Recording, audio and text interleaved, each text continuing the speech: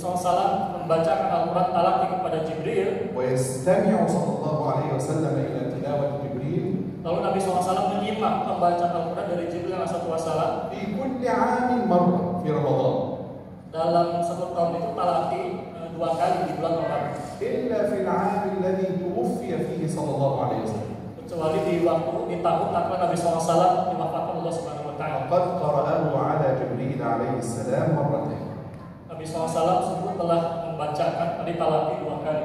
لماذا شهر رمضان شهر القرآن؟ Lalu kenapa kemudian syahrul Ramadan dikatakan sebagai bulannya Al-Quran? لأن هذا الشهر هو شهر التغيير Karena bulan ini merupakan bulan perubahan. أي عادة قبيحة في النفس تستطيع تغييرها في هذا الشهر Segala macam ada kebiasaan yang buruk itu bisa kemudian dihilangkan di bulan Ramadan ini. والقرآن الكريم منهج التغيير Dan Al-Quranul Karim itu merupakan metode untuk mengubah perubahan. غير به صلى الله عليه وسلم الكرة الأرضية كلها Nabi SAW telah mengubah eh, seluruh muka bumi seluruhnya. جاء صلى الله عليه وسلم إلى العرب Nabi SAW datang ke negeri-negeri Arab فكانوا رعاة للغنم di mana mereka merupakan para penggembala kambing. بالقرآن أصبحوا رعاة للأمم Tapi dengan sebab Al-Quran mereka menjadi eh, pemimpin bagi umat-umat. ولذلك نحن بحاجة إلى التمسك بالقرآن Maka dari itu kita Israel Kiram membutuhkan untuk pegang teguh terhadap Al-Quran. سئلت أمنا عائشة رضي الله تعالى عنها Ibunda kita Aisyah Anha ditanya, كيف كان صلى الله عليه وسلم bagaimana Nabi SAW? قالت أتقرأ القرآن Apakah eh, membaca Quran. Kala na'am. Betul. Qala kana khuluquhu sallallahu alaihi wasallam al-Quran. Aisyah ta'ala berkata bahwa akhlak Nabi SAW adalah Al-Quran. Idza Rasulullah sallallahu alaihi wasallam kana ya'malu bil Quran. Maka dari itu Nabi SAW itu beramal dengan Al-Quran. Wa kana yahya bil Quran. Maka beliau SAW hidup dengan Al-Quran. Nahnu nahtaju ila hayatin ka hayatihi sallallahu alaihi wasallam kehidupan saat ini sama seperti kehidupan Nabi SAW. نحتاج أن نعود إلى هذا الكتاب مرة أخرى Kita membutuhkan kembali kepada Alkitab Al-Quran ini لنصبح قادة قادة للأمم agar kita mampu menjadi pemimpin bagi umat-umat. إن أي تغيير لابد أن يبدأ بالقرآن Sesungguhnya eh, perubahan itu wajib dimulai dari Al-Quran. رسول الله صلى الله عليه وسلم كان ينفذ أحكام القرآن Di mana Nabi SAW dahulu itu menerapkan hukum Al-Quran. فكان في رمضان Di mana dahulu Nabi SAW di bulan Ramadan يقرأ في ركعة membaca dalam satu rakaat itu خمسة أجزاء lima juz في ركعة واحدة dalam satu rakaat.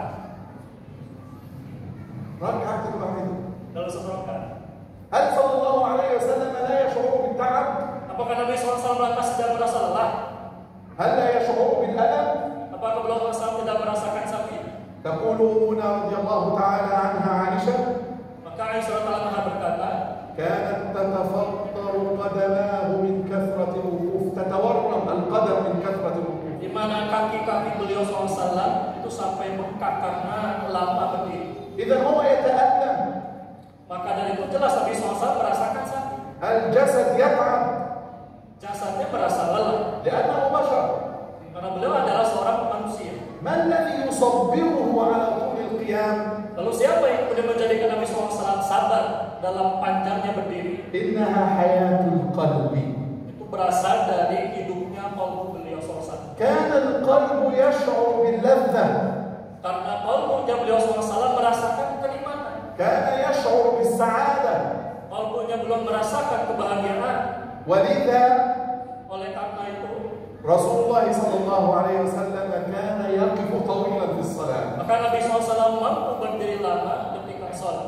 لأن القلب إذا كان حيا Karena kalbu ketika dia hidup, يشعر بالسعادة مع القرآن maka dia akan merasakan rasa bahagia membersamai Al-Quran. نحن بحاجة إلى تغيير أفكارنا Maka kita perlu mengubah pola pikir kita في كيفية التعامل مع كلام ربنا dalam berinteraksi. Bagaimana cara kita berinteraksi dengan kalam kita Al-Quran?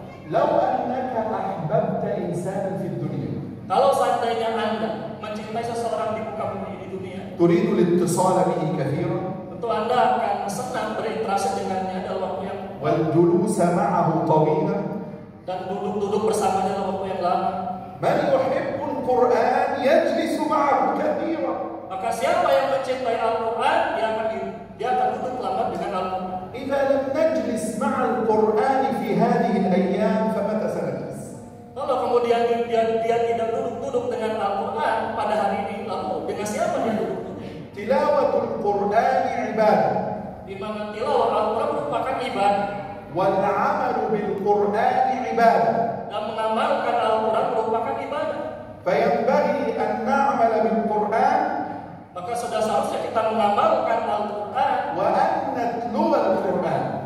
dalam membaca Al-Quran. Min ni'matillahi ta'ala alaikum ayuhal. Dan dia merupakan kenikmatan dari Allah wahai para jamaah yang mulia. Annakum fi akbar daulatin Muslima walillahi alhamdulillah. Bahwasanya Anda uh, berada di negeri terbesar umat Islam di fadilah ta'ala. Lakinnana bihaja akan tetapi kita membutuhkan ila an nakuna agar kita menjadi contoh likulli muslimin fil alam untuk setiap muslim Nahnu akbar daulati muslimah. Kita merupakan uh, penduduk terbesar di Islam. Bihajatin an nakhudha al-Qur'an. Maka kita membutuhkan mengambil Al-Qur'an wa na'tasim bihi dan uh, bertekad dengannya. Nastamsik bihi. Berpegang teguh padanya. Naj'aluhu masdaran li menjadikan Al-Quran sebagai sumber perubahan kita وقف صلى الله عليه وسلم ليلة كاملة di mana Nabi SAW eh, berdiri di satu malam penuh, يصلي في ركعة واحدة dan dua rakaat كل الليل setiap malamnya. وفي الركعة الثانية أيضا Dan pada rakaat yang kedua pula, الركعتان كان يصلي بآية واحدة eh, di mana beliau SAW في الركعتين كرر آية واحدة Di dalam rakaat yang sama itu mulai ayat yang sama. Ayat wahidah tuwalan lain. Satu ayat sepanjang malam. rumah yusalli thalatha sa'at sallallahu alaihi wasallam. Di mana beliau SAW bisa sholat selama tiga jam lamanya. Kulla lain. Setiap malam. Lakin fi lailatin min al-layali tapi dalam satu malam dari malam-malam yang ada yaqra'u itu Allah taala tapi SAW membacakan firman Allah Subhanahu wa taala iya. فإنهم عبادك. وإن تغفر لهم فإنك أنت العزيز الحكيم. آية من سورة المائدة. إن تعذبهم فإنهم عبادك. Membacakan satu ayat dalam surat Al-Maidah. yang tu'adzibhu فإنهم عبادك. Jika kemudian engkau menyiksa mereka, maka sebetulnya mereka adalah hamba-hamba. Wa in taghfir lahum jika engkau mengampuni mereka, fa innaka antal azizul hakim. Maka engkau adalah engkau adalah zat yang maha aziz lagi maha bijaksana. Ayat wahidah. Satu ayat saja. La yamanu sallallahu alaihi wasallam. Rasulullah tidak memperpanjang bacaannya. Ya Bi'annahu yash'uru bis-sa'adah wal bahjah. Karena Nabi SAW merasakan kebahagiaan dan kesenangan. Idza kunna nudrikul Qur'an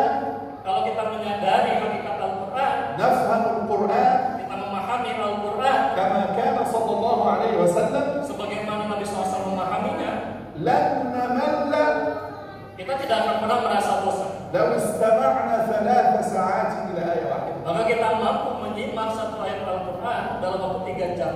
القرآن كتاب السعادة Di mana Al-Quran merupakan kitab kebahagiaan, كل الناس يبحثون عن السعادة di mana setiap manusia itu mencari kebahagiaan. الله سبحانه وتعالى يقول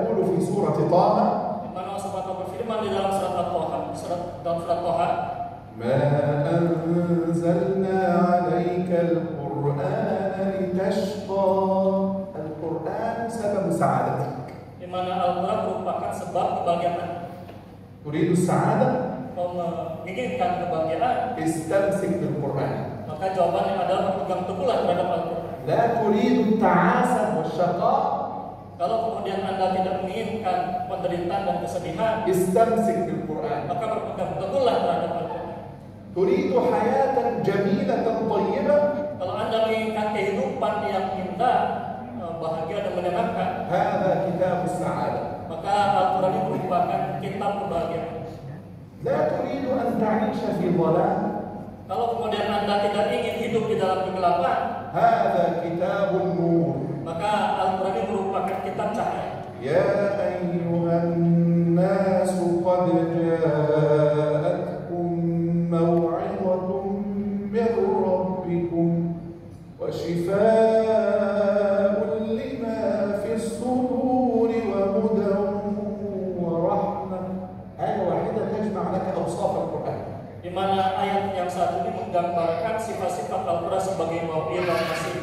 dan kedamaian, penawa dan juga rahmat.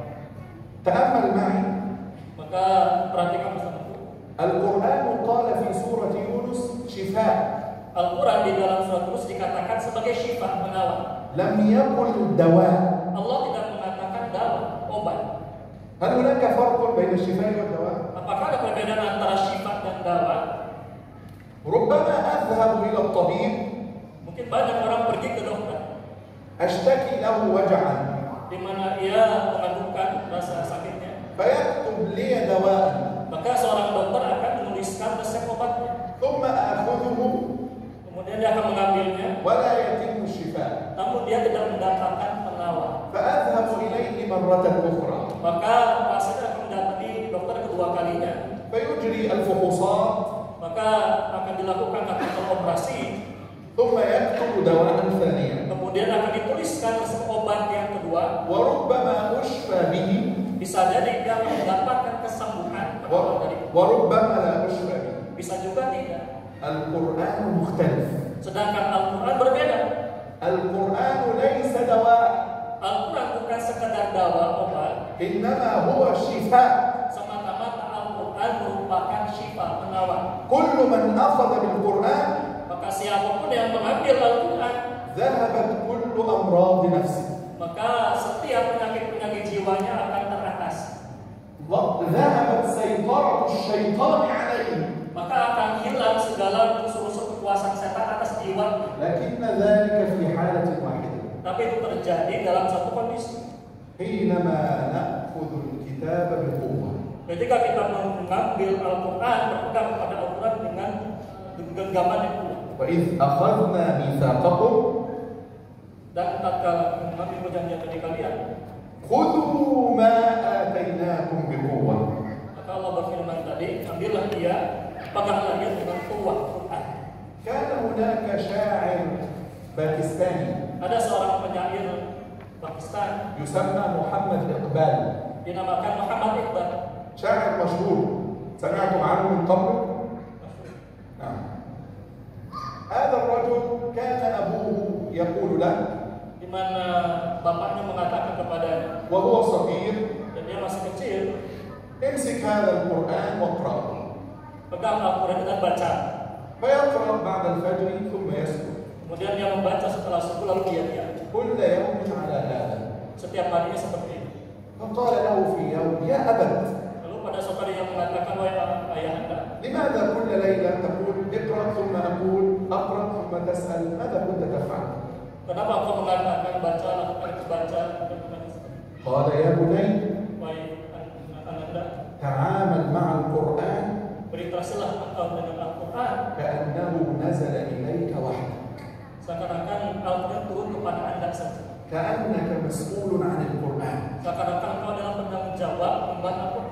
لو أن كل واحد منا كان مسؤولا عن القرآن Kalau setiap orang merasa bertanggung jawab atas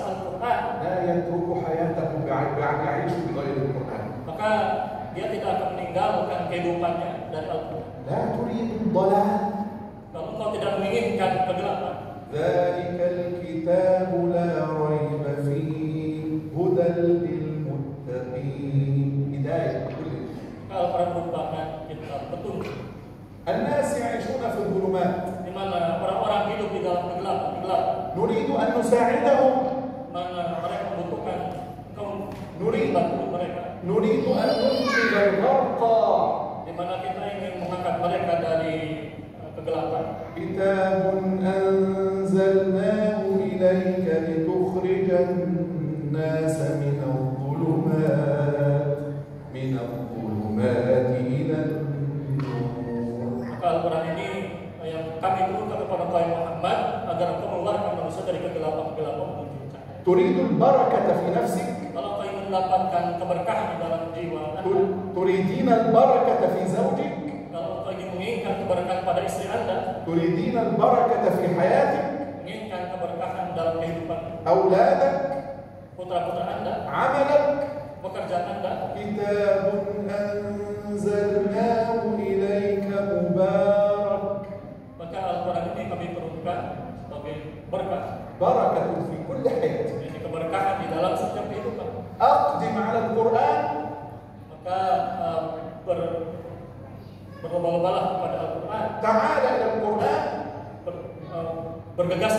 اقرأه كثيرا افهمه اعمل به ستجد سعادة لا مثيل لها شهر رمضان شهر رمضان الذي أنزل فيه القرآن هدى للناس